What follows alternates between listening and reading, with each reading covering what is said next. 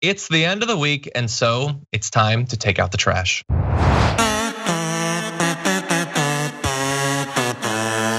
Okay, this was a super trashy week. The whole month, basically, you just throw the entire thing in the garbage. Um, mine, I found it very easy to pick.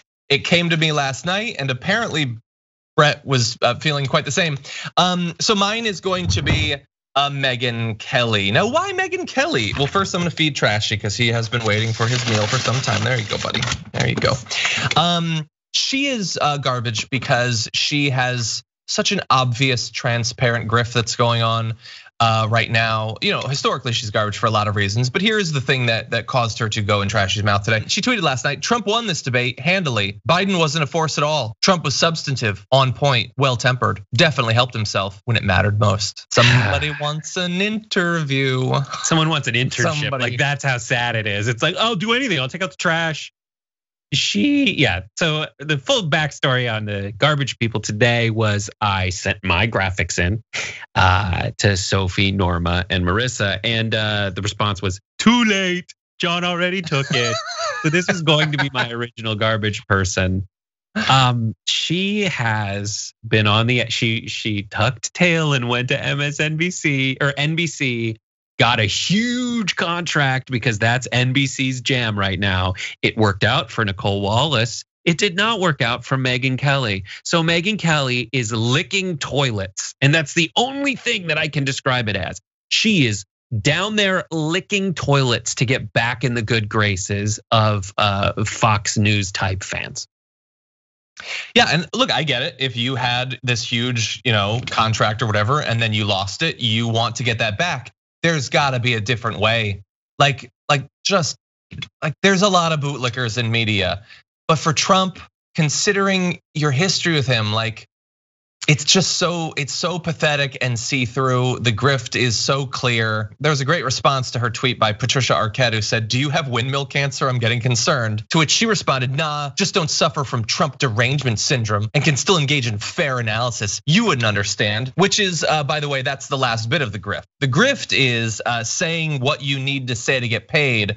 The final part of the grift is saying that that's actually evidence that you're the one with the integrity after all. No, you're not. You want Uh, an interview with him or a show or to be hired back to Fox or something like that. That's what you want. And the reason I say that isn't just because what debate were you watching?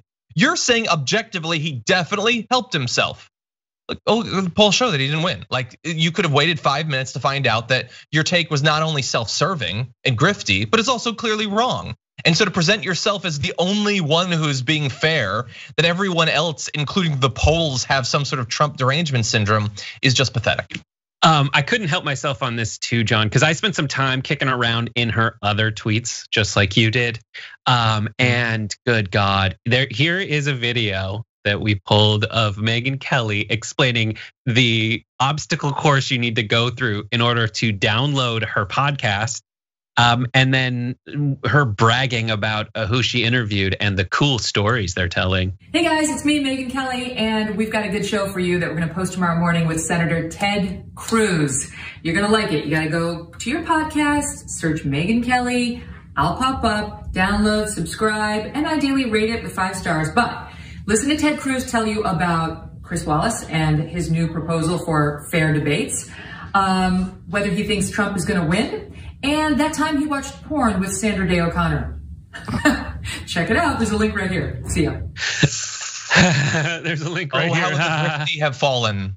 It's so sad. It's so uh, sad. And um, what makes I feel like this is the week that she's done with her NBC contract. Like you, yeah. there's only so like she was on contract, she got fired, but they have to pay her out. So sad. Yeah, yeah, um, yeah. Getting in the garbage can isn't necessarily always a measure of being the most objectively horrible. Um, that generally just gets you coverage on the show. Um, being this pathetic and self-serving, and and being willing to like imply that Trump spending an hour and a half just shouting conspiracy theories that he's heard on Fox News is well mannered and presidential and should help him. Like you are saying everyone should like support this that like people do support this this is a good thing it's not something that a reporter or someone who claims to be a reporter should have a problem with and you're doing all of that to get paid that is pathetic and uh, Trashy will enjoy his meal this week.